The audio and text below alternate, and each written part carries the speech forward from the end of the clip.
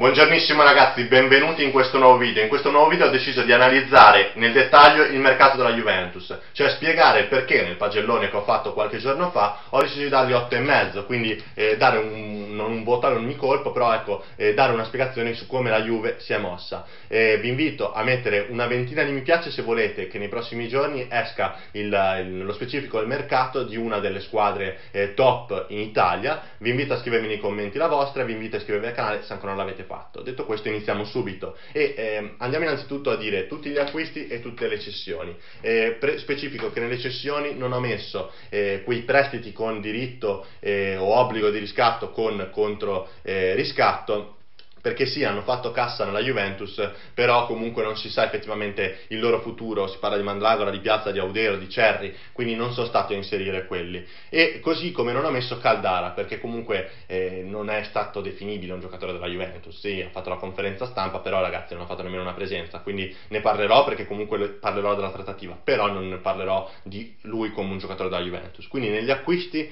eh, ho inserito CR7, Cancelo, Bonucci, Perin, Emre Can, Douglas Costa perché è stato pagato quest'anno e eh, Spinazzola, mentre invece nelle cessioni ho inserito Higuain, Asamoa, eh, Buffon, Sturaro e Eric Steiner. Allora, Diciamo che secondo me la Juventus ha fatto un mercato molto molto intelligente, nel senso che comunque ha cercato di eh, ringiovanire la rosa, puntando comunque su alcuni giovani perché ha acquistato Magnani, quello difensore del Sassuolo che ha fatto molto molto bene contro l'Inter, ha acquistato comunque eh, altri giocatori molto giovani per cercare di creare una squadra per il futuro. Però in qualsiasi caso si è mossa molto intelligentemente perché oltre a ringiovanire la rosa ha cercato di aumentare la qualità per puntare decisamente alla Champions, c'è poco da prendersi in giro, no? E diciamo che dal punto, ehm, da, partendo dai, dai, portieri è partito Buffon, come noi sappiamo è partito per la scadenza del contratto, è andato al Paris Saint Germain e la Juve ha deciso di sostituirlo per 12 milioni con Perin. Allora, Perin è un ottimo portiere, secondo me, a me piace molto, a me piace molto, mi piace molto più di Donnarumma, secondo me è più forte attualmente di Donnarumma. Perin, che oltretutto è stato pagato molto poco, perché poi, poi andiamo a guardare, Meret è stato pagato 25 milioni, quindi Perin è un portiere più pronto, è un portiere che ti dà più garanzie rispetto a quanto te ne può dare Meret, fisicamente ha avuto i suoi infortuni, ma comunque eh, l'anno scorso ha trovato eh, continuità nel, a livello di prestazioni, sia a livello qualitativo sia a livello di minutaggio, e quindi di conseguenza eh, secondo me la Juve indubbiamente ha perso il portiere che eh, negli ultimi anni è stato il più forte al mondo, negli ultimi vent'anni probabilmente è stato il più forte al mondo, però secondo me l'acquisto di Perin a queste cifre e eh,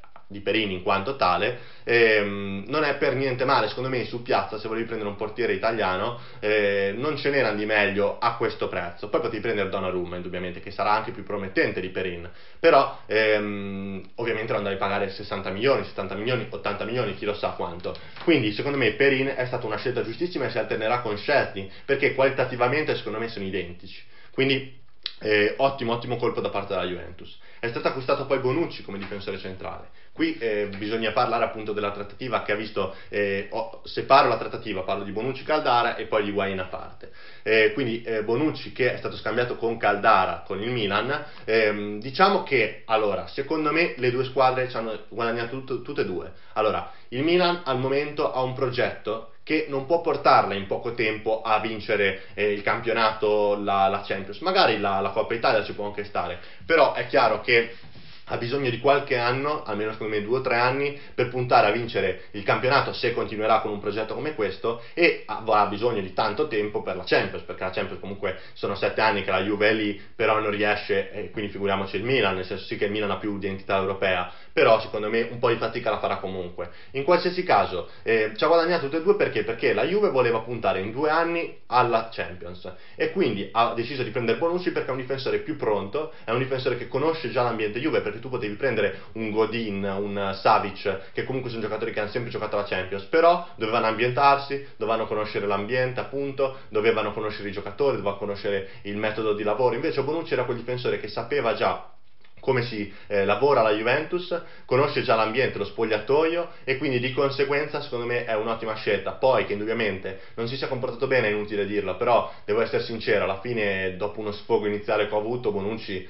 è sempre Bonucci, per i Juventini sarà sempre Bonucci, anche per te che mi guardi che sei Juventino sarà sempre Bonucci anche per te. Quindi eh, ottimo colpo. Dal punto di vista del Milan, appunto per questo progetto che dicevo di due o tre anni almeno, che secondo me deve durare per poter competere per uno scudetto almeno, eh, Caldara è ottimo, perché Caldara ti garantisce ora una titolarità, titolarità importante, perché è comunque un giocatore che qualitativamente c'è, e eh, fra due anni un difensore che potrebbe essere un, un top secondo me di reparto a livello italiano, quindi nel campionato italiano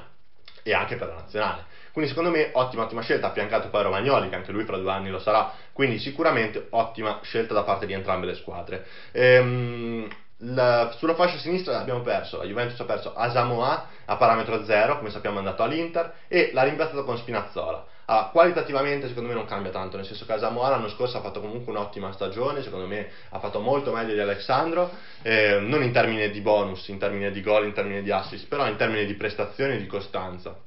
Alexandro spesso ha fatto delle partite un po' del cazzo, nel senso che ha fatto parecchio male. Eh, però Spinazzola secondo me è un giocatore che soprattutto è juventino e sembra una cavolata però fa tanto. Cioè, se voi guardavate la conferenza stampa di Spinazzola era più felice lui che me. Nel senso che lui veramente ragazzi era estasiato dal fatto di tornare alla Juventus dopo il prestito dall'Atalanta, era contentissimo di potersi giocare le sue carte, eh, è un giocatore che secondo me per la maglia darà tutto, quindi è un giocatore che secondo me è abbastanza giovane, potrà crescere, potrà fare molto molto bene, sarà la riserva di Alessandro come lo era Samoa, quindi a livello qualitativo e eh, numerico non cambia assolutamente nulla, però è un giocatore che secondo me potrebbe essere una sorpresa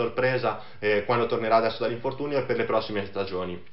Mentre invece eh, sulla fascia destra il eh, cambio di Licksteiner con Cancelo. Ragazzi, qui la Juve ci ha guadagnato e tanto, perché comunque Licksteiner era da qualche anno che eh, non era più quel difensore, quel terzino che poteva garantire quella spinta, quella eh, cattiveria per poter puntare a, ehm, che ne so, fare degli assist o anche dei gol. Qualche osina ha fatto, per l'amor di Dio, però non era più ehm, qualitativamente adatto secondo me. Mentre invece Cancelo, ragazzi, è uno dei terzini eh, destri più forti nel panorama panorama del calcio mondiale secondo me deve migliorare in fase difensiva cosa è, è l'opposto di Licksteiner secondo me Licksteiner era molto più forte in fase difensiva e meno in fase offensiva invece Cancelo è molto molto più forte eh, in fase offensiva e meno in fase difensiva se riuscisse a migliorare sotto questo aspetto secondo me potrebbe diventare uno dei migliori terzini che c'è al mondo, terzini destri. Quindi mi ricorda molto, diciamo, Marcelo, se riuscisse a migliorare secondo me potrebbe diventare tranquillamente un Marcelo. Quindi ehm, è molto molto forte, la Juve ci ha guadagnato, eh, spero sia pronto per la Champions, ma comunque sarà molto molto utile anche per, la, eh, per il campionato e quindi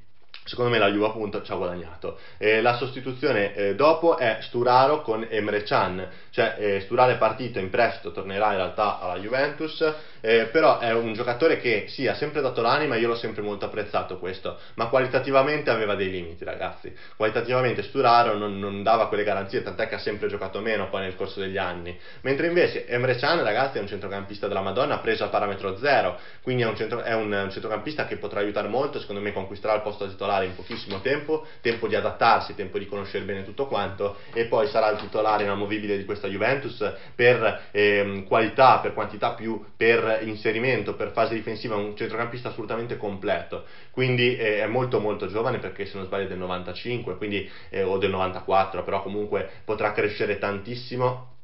e ehm, sarà secondo me fulcro, il fulcro centrale, centrale della, della, della, Juventus fino a che eh, non deciderà poi di cambiare aria, se deciderà di cambiare aria.